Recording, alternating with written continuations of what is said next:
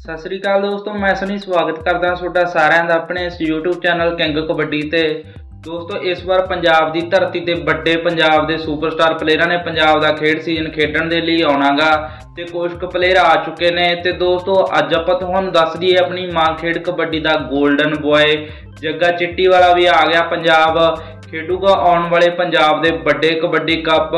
ਹਾਂਜੀ ਦੋਸਤੋ, ਇਹ ਜੱਗੇ ਚਿੱਟੀ ਵਾਲੇ ਦੇ ਫੈਨਾਂ ਦੇ ਲਈ ਬਹੁਤ ਵੱਡੀ ਖੁਸ਼ਖਬਰੀ ਹੈ ਜਿੰਨੇ ਵੀ ਜੱਗੇ ਚਿੱਟੀ ਵਾਲੇ ਨੂੰ ਪਿਆਰ ਕਰਦੇ ਨੇ, ਉਹਨਾਂ ਦੇ ਲਈ ਬਹੁਤ ਵੱਡੀ ਖੁਸ਼ਖਬਰੀ ਆ। ਹੁਣ ਜੱਗਾ ਪੰਜਾਬ ਦੇ ਵਿੱਚ ਜਿਹੜੇ ਆਉਣ ਵਾਲੇ ਕਬੱਡੀ ਕੱਪ ਨੇ, ਉਹਨਾਂ ਤੇ ਖੇਡੇਗਾ ਜੱਗੇ ਦੀ ਖੇਡ ਆਪਾਂ ਨੂੰ ਦੇਖਣ ਨੂੰ ਮਿਲੇਗੀ ਪੰਜਾਬ ਦੇ ਕਬੱਡੀ ਕੱਪਾਂ ਤੇ।